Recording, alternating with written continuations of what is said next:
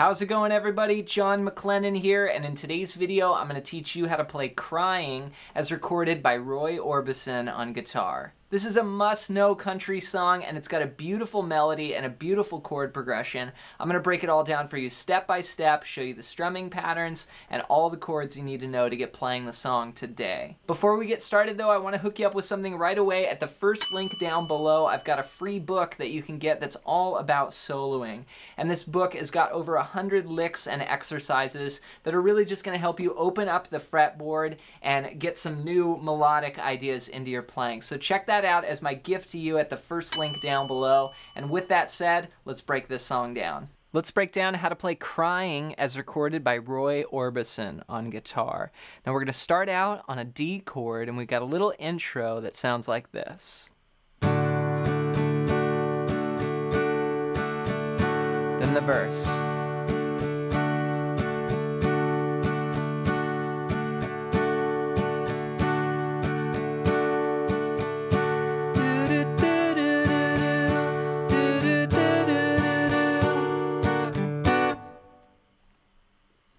All right, so we've got a lot of just the D chord at the beginning, and I'm doing the simple strumming pattern that you can play as sort of a general guide throughout. So we're gonna hold down that D chord, open, two, three, two, and we're gonna go one, two, and. That's our strumming pattern. I'm gonna play all downs, just one, two, and three, four, and one, two, and three, four, and verse. We're gonna play five bars of D.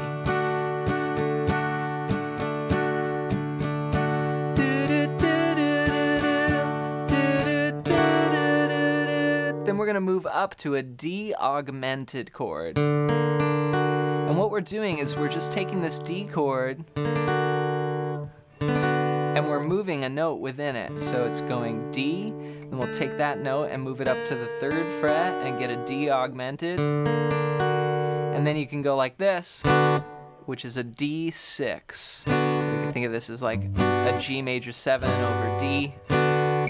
What, what I'm playing is open fourth string, then four, three, two. So again, that note just moved up, but I kept these two notes from the D chord there. So when we get to this chord, we go stop, two, three, four, and then G minor. So we hit that chord on the downbeat and then we rest right away. So this, this movement from where the chords start changing are D, D augmented.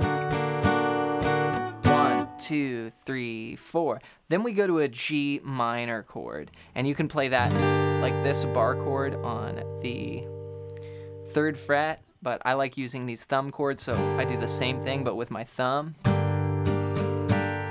Then D, then A7 for two bars. Then we go to the next part, and this is where the words go crying over you. And that sounds like this.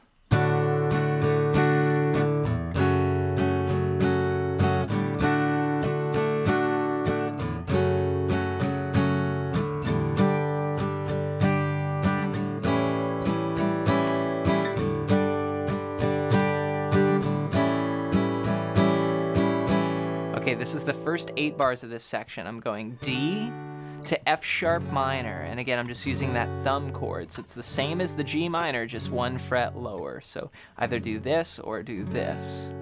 And that's just two, four, four, two, two, two. So we're gonna go D, F sharp minor. And again. Then we go to G, to A7, and do that again.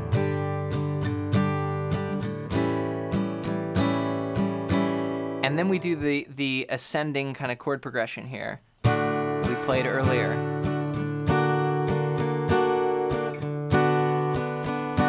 Then G minor, then D, two bars, A7,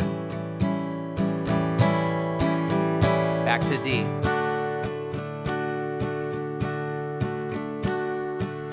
Then we go back and we repeat the whole thing again.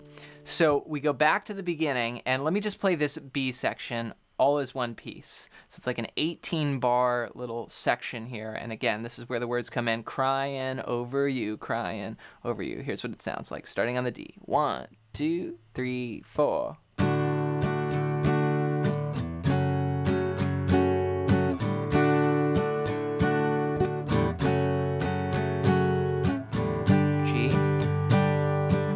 A7, G, A7, and D,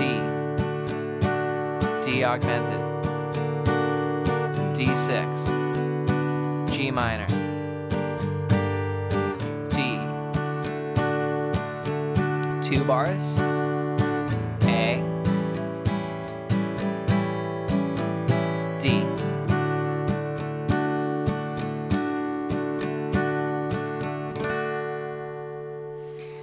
Okay, then we have a second ending here, and this part basically we go back to the top, we play everything again, we do the break stop to say hello, G minor. Then we do this time two bars of D, so one, two, and three, four, and one, two, and three, four, and A, seven.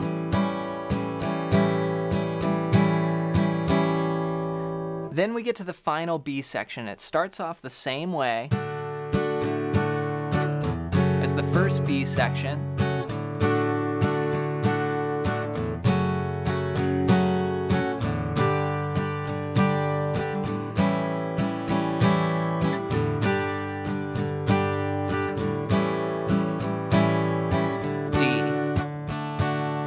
Now here when we land on this D, we start emphasizing the rhythm a little bit more. We go like one, two, and three, four, and D augmented, G6, G minor, D. Stay there.